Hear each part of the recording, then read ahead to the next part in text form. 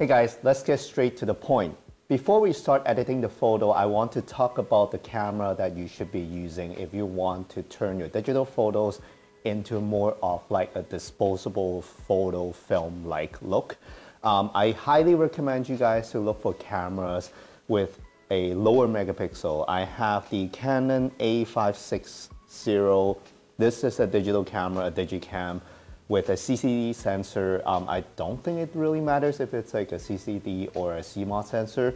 But the older the camera, the better because the lower the megapixel it is because a lot of disposable cameras, the film that they use and the quality of the lens, they're like usually plastic lenses. So they have a really low quality, low megapixel, really grainy look. So in order to create or recreate the disposable film look, I highly recommend getting a lower megapixel camera and that will help you to emphasize that not super sharp and 3D popping kind of look. Also, the smaller the sensor, the better because if you're using a full frame camera, you will have this 3D cutout or like a popping effect if you have a faster lens, let's say a f1.8 or even f1.4, 1.2 lens, then you will be popping the subject out too much from the background. It will get super blurry. A lot of disposable cameras, they have an f-stop of like 5.6 f8, f11, super high aperture. So they will have most of the stuff in the frame in focus. That's why they look like disposable camera film. Um, so if you're interested, I will put some Digicam in the description below. I don't think they sell them new anymore. So I'll try my best to put some links in the description below. If not, then you can definitely go onto eBay. You don't have to buy anything super expensive. This I found it in a local camera store for like $30, including SD card and also the, double A batteries. It's pretty much like just $40, $50 max. So try not to spend too much on it. And also because of another reason that the Digicam will sell the disposable look even better than a modern day camera is it has a built-in flash. This is super important. With the disposable cameras you have seen probably in like um, uh, a supermarket or like any kind of store that sells a disposable camera with the, the package, when you open it, it has a built-in flash. And a lot of times you cannot control the built-in flash. So most of the time when you take a photo with a disposable camera, the flash will just go off no matter what, even if it's like bright daylight. So that's how you can make the look even more like disposable film by using the flash. I highly recommend using the flash on a Digicam with a small CCD sensor because it will make the picture much nicer and your subject will be much nicely um, exposed compared to a really grainy, noisy digital photo. I use the flash most of the time with this camera when I'm using this camera and it got me a lot of really amazing photos that I can use to edit. So Highly recommend getting a low megapixel digicam and with flash and use the flash only if you can. Try not to use flash if you're not um, allowed to. So that's the setup for the camera. Now let's jump straight into the phone uh, Snapseed app. I'll show you guys how I edit digital photos and turn them into disposable photos. All right, so now we're on an iPhone with the Snapseed app open. All the photos are just JPEG straight out of the camera that I just mentioned. Um, nothing in RAW. Of course, you can edit your photos in RAW, but I try not to spend too much time editing RAW photos. And also the Canon colors are really good coming out of the uh, Digicams anyway. So I am just editing JPEG. Um, I always try to get the look in camera instead of relying on RAW. So that's just a habit. But here's a photo of my friend uh, we were at a uh, dance performance and I was using the flash as you can see. So the subject, which is my friend, is really nicely exposed and the background is of course darker. That's just the look of using it on camera flash. And with disposable photos or disposable cameras, you will get this look most of the time because in a dark, especially in a dark environment, the flash will go off for sure. And the flash is usually really harsh. And in this photo, you can see that the colors are pretty good already and I don't have to worry about the skin tone color, especially if you're getting a Canon camera or like a Fujifilm camera or Olympus cameras, they're usually pretty good at uh, showing nice skin tone colors. I don't have to worry about that. Um, if you're using Sony cameras, maybe you have to play around with the yellows and the greens to make the skin tone look a little bit more natural. But in this photo, it looks really natural already. I actually have everything saved as a preset. You can just copy all the settings. I don't sell preset, at least at this moment, I'm not selling any presets. So don't worry, you can just copy the settings. We will just um, go through all the settings that I have. I have the preset saved under a camera name, so I know what kind of preset I should apply on whenever I use a specific camera. So this is a Canon A560 camera, and underneath the, I don't like Snapseed where you can't really fit the whole name in there, but it's actually the one at the bottom left, the second one. This is the preset. This is the look that I've created to make a digital photo look a little bit more like a disposable film photo. As you can see, don't worry about the white border, that's up to you. You don't have to add the white border. I just like having a white border to like pop the photo out a little bit more. And plus in the past when I was still developing film photos when I was little, they have an option of choosing a white border so that reminds me of that. So I'll show you the before. This is before and this is after. I absolutely love this effect. So if I zoom in a little bit closer, you can see that the skin tone and the hair color is super nice and super natural. And also the contrast is higher, the saturation is higher. You can tell that this is before and this is after. So now let's go into all the steps. If I tap onto the check part, uh, check mark at the bottom right, it will apply the preset. And if you tap onto the square with the arrow at the top right corner, you will have the ability to view edits, which is all the layers that I've created. Once I tap onto that, you, you can see that all the layers are there. If I tap onto original at the bottom, it will turn off all the layers. The reason why I have so many layers is just the same as when I'm color grading, I tend to have all the adjustments in separate layers so I can turn them individually off and I can adjust them individually without affecting the other ones. Maybe I want to reset the whole layer and I don't want to reset some of the settings, then if I mix them up, then I cannot do that. So this is the original photo. The first thing that I have added is tune image. All the tools, by the way, if I tap onto the arrow backwards, all the tools within Snapseed is under the tab tools at the bottom. You will find everything so tune image is top left. So if you are not familiar with Snapseed, definitely take a look at this page first, and then you will find the settings that I'm gonna mention. I'm just gonna open up the layers again. So the first thing that I've adjusted is tune image. What happened is this option, if I tap onto the uh, adjustment icon, I have all these brightness, contrast, saturation, ambience, highlights, shadows, and warmth. I am only adjusting two um, adjustments here, but I will also talk about another one uh, after we try to apply this uh, preset to another photo. So with highlights, I try to turn highlights down to pull some of the details back from the brightest part of the image. That's why it's negative 37. And I want to lift some of the information from the shadows. So I have shadows set to plus 50. Of course, this is up to you. Uh, depends on the camera settings that you have. You might uh, have to adjust these numbers accordingly, but this is the pattern. So this is after the adjustments. This is before. You can tell that the shadows part is really lift, uh, lifted, and then the highlights, which is the um, brightest part of the image, gets pulled down in order to create this flat look. So with this tuned image, I want to create a flat image. So after that, I can tap onto the check mark. Again, you can copy all the settings. You can do it like exactly the same. I'll show you guys the settings again. If you have the exact same camera. The next one I have is curves. This one is for you to add in contrast and also um, adding in colors and highlights, shadows, or midtones uh, of the image. So the first one is basically a contrast curve that I've created. I can tap onto the gear eye or the adjustment icon you can see that this is a simple S curve.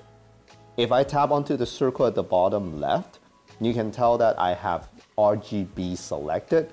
The other colors that I'm tapping on right now, even luminance, I did not touch them. I am only adjusting RGB curve on this layer right here. And it's an S curve, basically the highlight part it's lifted and then the shadow it's pushed down again.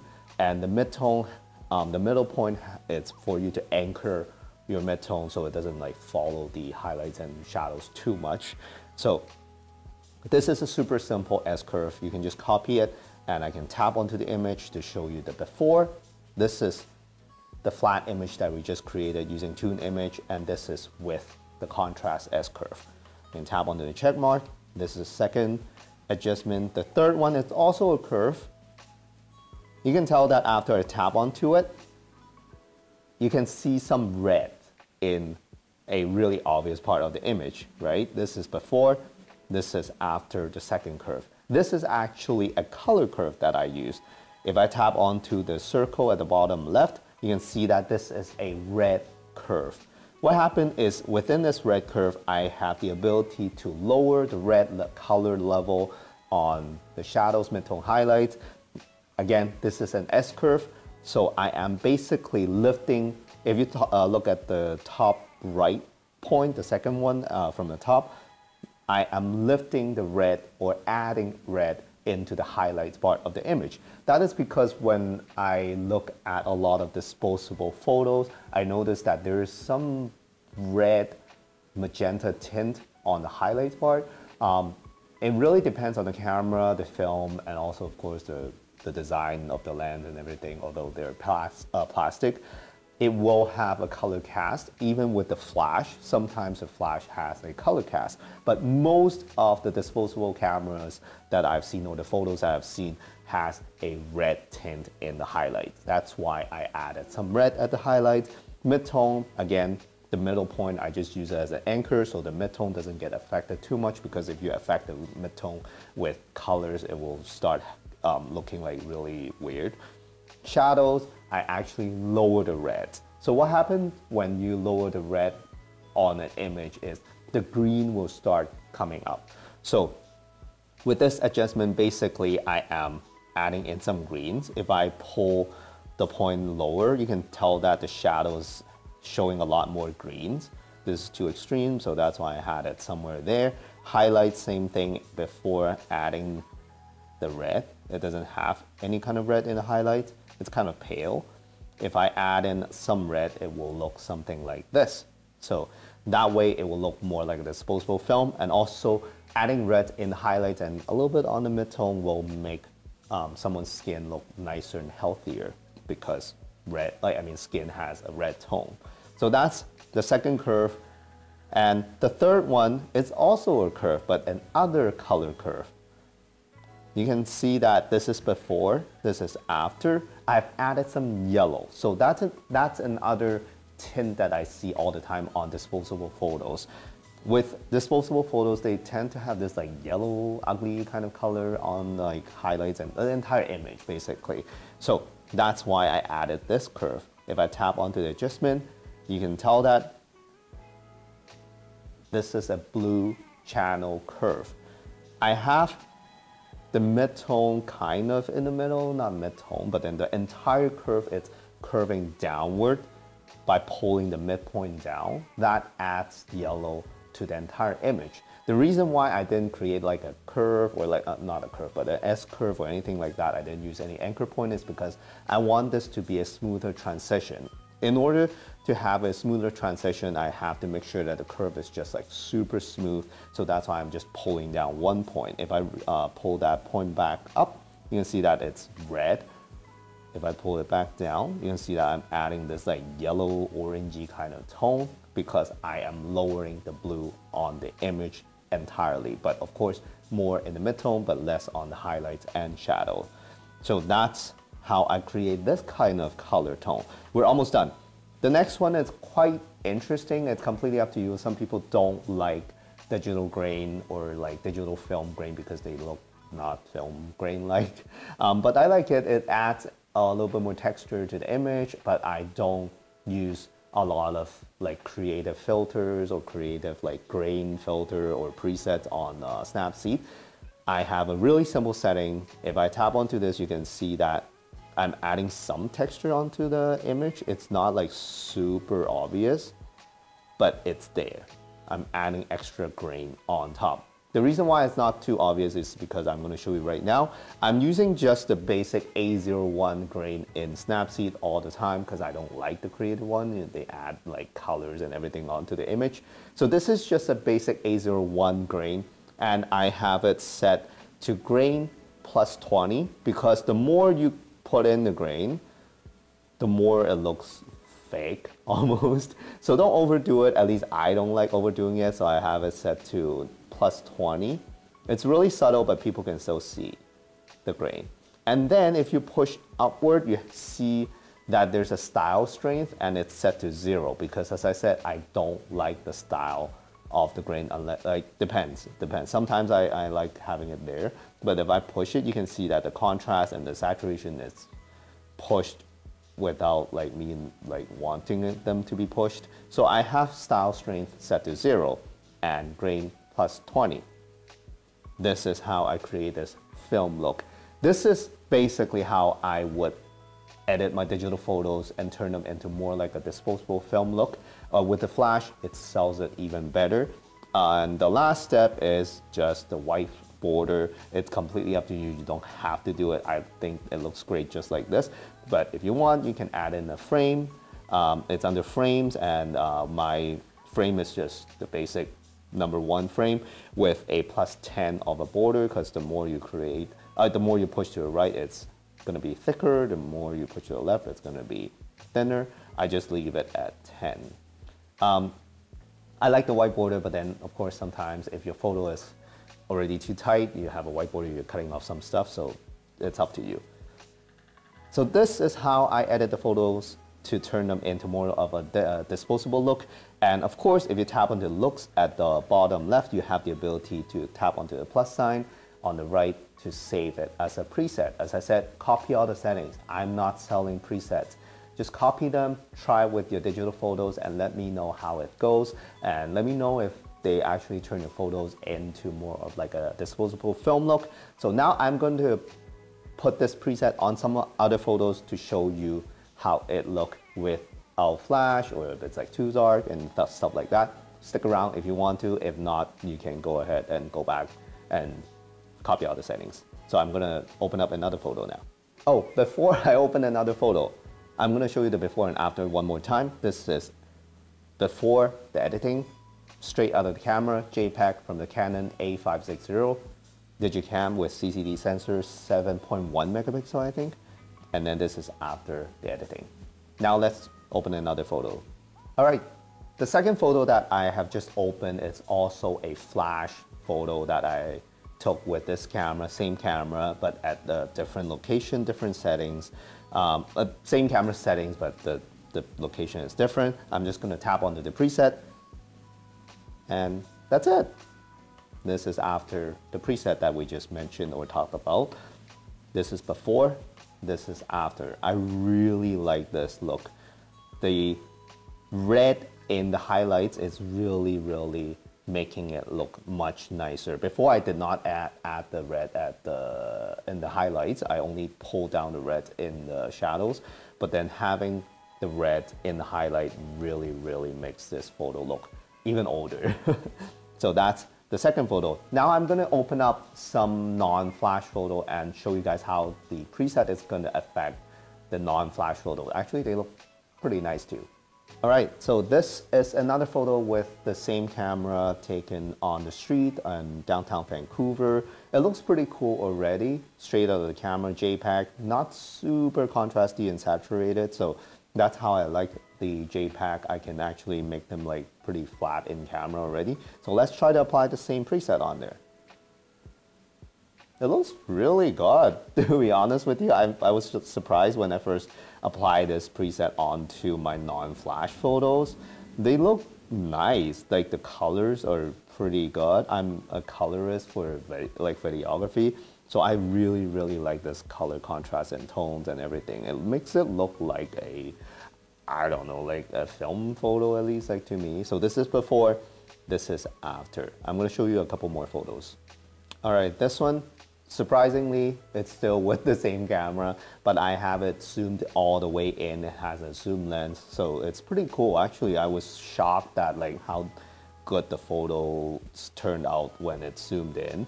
Um, it's still really, really sharp. This is before applying the preset. Now I'm gonna apply the preset onto it. It looks really nice. To me, um, digital cameras with CCD sensor, the best part is the colors. You can see that the blue sky, it's super deep. Like the blue, it's super nice. The red is super nice. This is after the preset being applied. This is before, after. It looks really cool. I know this is not exactly like a film photo, but it has a nice style that I really enjoy. Uh, I'm gonna show you one more photo and that's it. Okay, so this is another photo that I was using the flash when I was taking the photo. And if I apply the preset, you'll know um, why I said I will do another extra adjustment, depends on the photo. If I apply the preset, you can tell that it's super contrasty. Um, it's too saturated and contrasty. I feel like it's too underexposed, so it's too dark. But I'll still apply the preset on there and I'll tap onto the square with the arrow at the top right. And I'll go to a few edits and I'll tap onto tune image at the bottom, tap onto the adjustment. I will actually adjust the first item on the list, which is brightness. I will usually add in about like 50, like plus 50. It looks super flat and kind of overexposed because this is just the first layer of adjustments. I will tap onto frames. That's the last one. And you can tell that it's much nicer than before.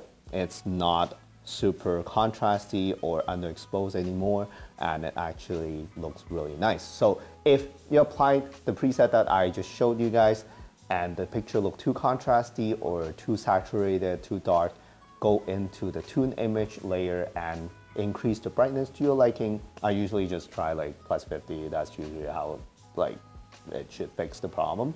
And this is before the adjustment. This is after the preset with plus 50 on the brightness. Um, yeah, that's it. Thank you so much for watching. I feel like this is just a really casual, I just want to share with you how I adjust the images to make them look like disposable film photos because I don't want to buy film or disposable film cameras just to take these photos because I don't think it's good for the environment and also it's gonna cost like a lot of money. Usually a disposable camera can cost, I don't know, $20, oh maybe not 20 maybe 10 or 15 dollars including the film. And then you have to develop the film and you have to wait and everything. It's fun it's super fun. Don't get me wrong it's super fun definitely do that. But then for me if i can turn this tiny little 30 dollars digital cameras photos into a disposable photo look kind of this is close enough. To be honest with you i'm really happy with the result using this camera and Snapseed on my phone and create these photos all my friends love those photos. They think that they look really nostalgic, really like old vintage film look that reminds them of like their high school year and like when they were young when disposable cameras were still really, really popular. So I'm really happy with this result. Let me know how it goes using this preset on your digital photos. If you have some results that you want to share with me, definitely let me know. You can connect me, uh, connect with me on Instagram. And uh, if you want, or if you like these kind of tutorials, let me know in the comment section below as well. I would love to make more videos like these for you guys. Thank you so much for watching, and I'll see you guys in the next one.